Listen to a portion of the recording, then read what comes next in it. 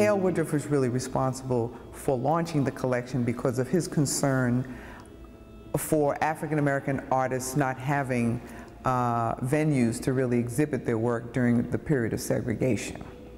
So that's when it was launched uh, through annual art exhibitions.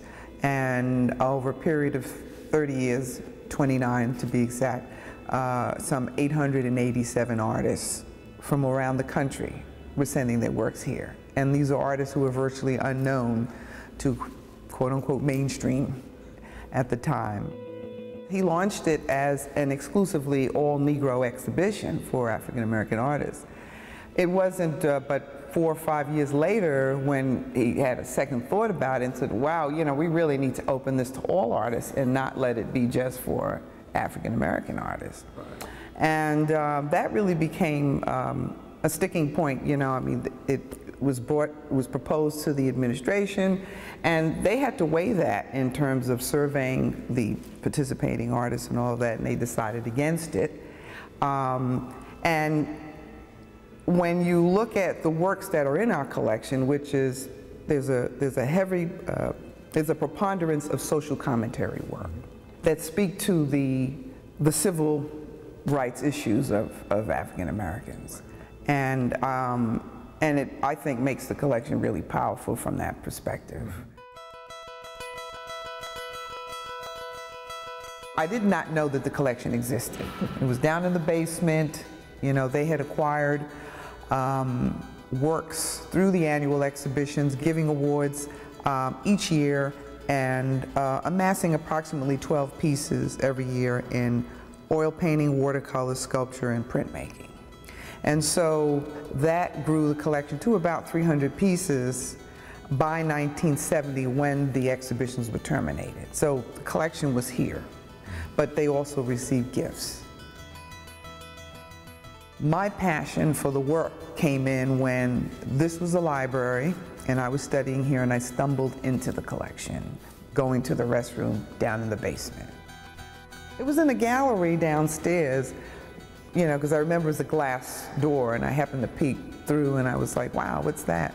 So that when I stumbled into this, even though I was not here to pursue art in that, in that manner, um, I, and I learned of the story, I was like, my God, this is really important. And then when I saw the exhibition records, you know, um, that we have compiled and it's part of the current publication, the new catalog that's just come out, mm -hmm. I was really taken with it. So that's really where the passion came.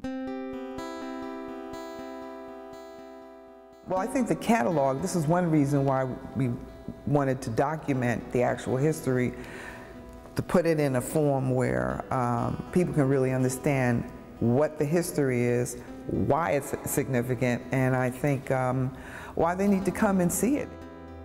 My goal here at this point is to engage to integrate these works into the academic curriculum because there is such a thing as visual literacy using these works to discuss as a, uh, as a point of uh, departure for intellectual discourse, uh, be it in humanities, you know, religion, uh, the School of Business, relative to what's happening in the marketplace. Uh, there are so many the sciences, chemistry, conservation, uh, it can be used in, in so many ways uh, as a pedagogical tool. So that's really been my mantra. I see these works as reflections, you know, like looking in mirrors. We have the content. This is the content of the institution. The facilities, I mean, they go into, I mean, what do you, you're going to sit, you're going to sleep, you're going to be in a room writing and listening, but to have the content to show them what you know can happen here. This is the place. Atlanta's incredibly fortunate to have this material. Now,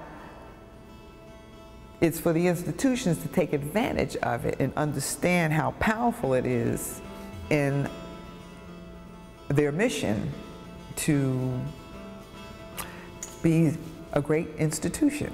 Colleges, you know, it's about sports, and you see the the uh, tigers or the leopards or the jaguars that you know always uh, the icons of these. But I think of these murals, it's like, wow, you know, why not have that as your frontispiece for education, you know, um, and to to really uh, permeate that, you know, put it out there. Uh, but that's leadership issue, yeah.